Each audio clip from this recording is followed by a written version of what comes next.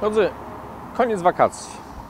Za nami szkoła, która nie jest w tym miejscu przypadkowa, do niej już uczniowie wrócili, ale ja chciałbym nawiązać do jednej z wakacyjnych przygód, która trafia mi się praktycznie co roku, a myślę, że nie jest to tylko i wyłącznie moje doświadczenie. Otóż, kiedy ktoś dowiaduje się, że jestem e, ewangelikiem, zadaje mi takie sakramentalne pytanie: a czym wy się różnicie?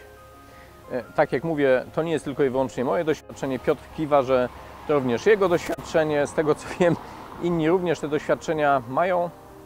I pytanie jest takie, co odpowiadamy w takim momencie?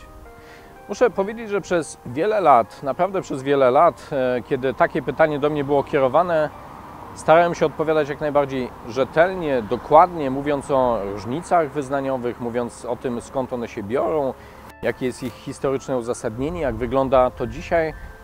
Ale pewnego dnia, i to dokładnie pod wpływem tekstu, który jest na najbliższą niedzielę, a który mamy zapisany w trzecim rozdziale Księgi Dziejów Apostolskich, historii, która mówi o tym, jak Piotr i Jan przy bramie świątyni spotykają człowieka, który oczekuje jałmużny, a dają mu zupełnie coś innego. Dają mu to, co najcenniejsze mają. Dają mu nie tylko uzdrowienie, ale dają mu siłę i nowe życie w Jezusie Chrystusie. To właśnie pod wpływem tego tekstu pomyślałem, że do tej pory robiłem błąd, mówiąc o wszelkich różnicach wyznaniowych. Bo tak naprawdę powinienem mówić o Jezusie. Kiedy ktoś zadaje mi pytanie, czym wy się różnicie, tak naprawdę jest to doskonała możliwość tego, doskonała okazja do tego, by złożyć świadectwo. I od wielu lat, kiedy zdarza mi się taka sytuacja, tak jak i w tym roku, kiedy zostałem zapytany o to, a czym wy się różnicie, nie mówiłem o różnicach wyznaniowych, nie mówiłem, jak wygląda nabożeństwo, komunia i tak dalej, ale mówiłem o tym, czym w moim życiu jest Jezus.